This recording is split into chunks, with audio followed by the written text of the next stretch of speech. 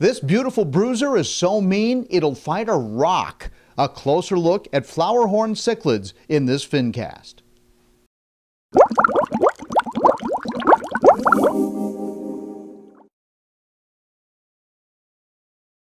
Um, this food, Extreme, we do feed in the store um, exclusively to all the African cichlids. Uh, we do flake food for the tropical fish. Uh, we do a lot of different um, scrapers, and the catfish love them. Uh, when you look at the fish, they're very, very healthy, very vibrant in color.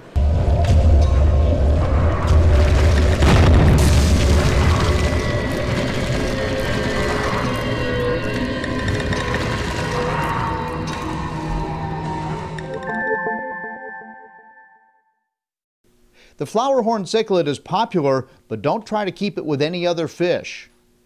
Hi everybody, John here with another FinCast. I've got an interview with an expert on flowerhorns coming up in just a few seconds, but first, very quickly, I have to brag just a little bit. The new issue of New York Pets Magazine is out. It's a free magazine. It's available at pet stores in the greater New York City area, but my article inside is about the Curviceps cichlid, and there is a companion FinCast to this article, and you can just click the link above right here if you want to take a closer look at Curviceps. But please do pick up a copy of New York Pets if you're in the New York, New Jersey area.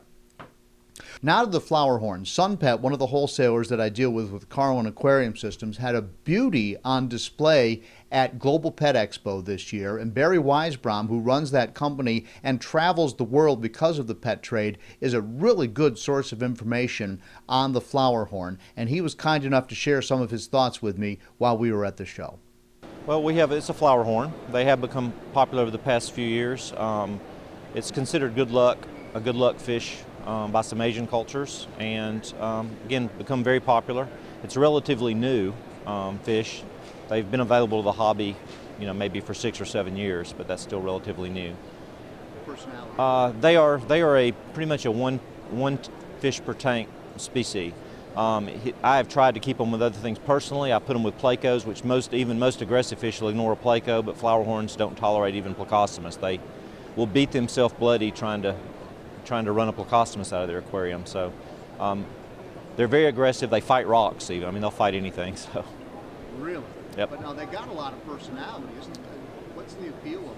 They're, well, they, they do come up to the glass and look at you and beg for food and um, they have personality, so that's that is definitely their big draw. Plus, they're beautiful fish. It is it is a it is a hybrid fish. And again, they're raised in Asia predominantly, um, and they come in a, a very wide variety of colors. A lot of blues and reds. Some are almost all red. Some are almost all gold or white, um, and then a lot, a lot a lot of them are all all blue. So. Um, huge variety in colors. I think no two are exactly alike. They've also got a um, wide range of hump sizes.